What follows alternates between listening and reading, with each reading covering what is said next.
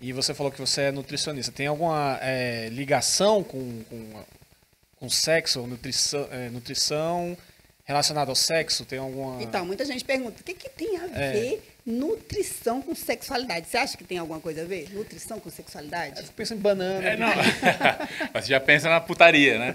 Não, mas eu acho que é, de repente, alimentação. assim, no geral, né? Uma alimentação boa, a pessoa tem um corpo bom, é, é uma pessoa é, que está bem, e eu acho que isso influencia diretamente no sexo. Exatamente. Olha, o sexo. Afinal, o sexo... você é o que você come. Exatamente. Essa frase nunca fez tanto sentido. Mas assim, ó, a gente pensando de uma forma mais técnica, né? O sexo, ele é um exercício físico. Sim. Certo? É. E para que você tenha disposição para esse exercício físico, o seu corpo precisa estar funcionando. Sim. Quanto melhor, quanto mais ele estiver funcionando melhor, mais disposição você vai ter para o sexo. Uhum. Tá? Então, é, que me desculpem as pessoas que não gostam de exercício físico, que não gostam de cuidar da alimentação, tá mas as pessoas que mas as pessoas que fazem exercício físico e cuidam da alimentação têm chances de ter maior desempenho, desempenho uhum. na vida sexual. Entendi. Porque tem muita gente que está, tanto homem quanto mulher, que não tem disposição, não tem libido. Sim. Aliás, a pessoa não tem libido, não tem vontade para viver. Uhum. Ela não vai ter para o sexo. Sim. Né? E as mulheres mais cansada, né? fica mais cansada, não tem, não tem disposição Interesse mesmo. Zero, uhum. Entendeu? Não tem disposição, não tem libido, só tem vontade de deitar, levanta, né? Sim. No máximo para trabalhar porque é obrigatório mesmo. Uhum. E aí, quando é casado, então essa coisa vira uma, uma bola de neve. Uhum. Porque você chega em casa e você só quer saber de descansar, Sim. de dormir, né? Você não, não tem, tem tempo para o parceiro. Não tem tempo, não tem disposição, não tem libido, né?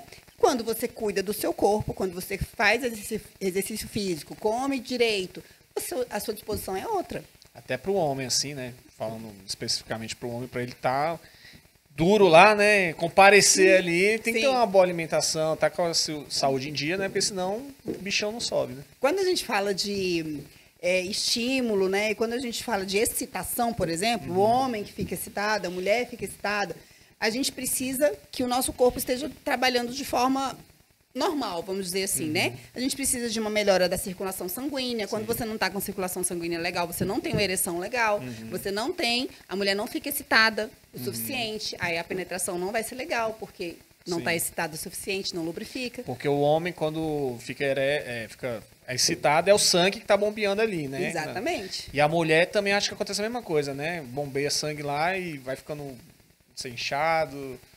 Como excitada é, é, a mesma excitada, coisa. É, né?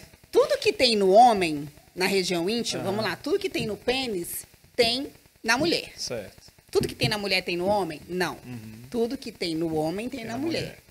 Mas o contrário não, porque a mulher é um pouco mais complexa. Uhum. Tá? Então, por exemplo, o, o clitóris, tudo que tem no pênis tem no clitóris. Corpos esponjosos, corpos cavernosos, né? O, o, clitóris ele fica ereto, assim como uhum. o pênis, e para isso ele precisa de sangue, Sim. de uma maior circulação sanguínea. Uhum. Para esse sangue chegar lá, ela precisa, né, de, de Quanto preferência. Mais ereto, mais durinho é porque está mais muito excitado. Exatamente. Uhum.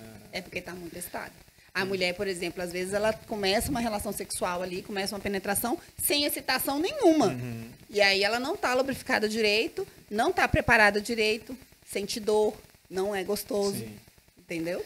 É, esse negócio que você falou de tudo que tem no homem tem na, é isso? Tudo isso. que tem no homem tem na mulher, mas tudo que tem na mulher não tem no homem. Isso. Tanto é que é até mais fácil fazer a cirurgia de, de, de inversão de sexo, né? Para tipo, o homem virar mulher. Porque eles aproveitam o material do homem lá, o pênis, para fazer a, o clitóris, a vagina, né?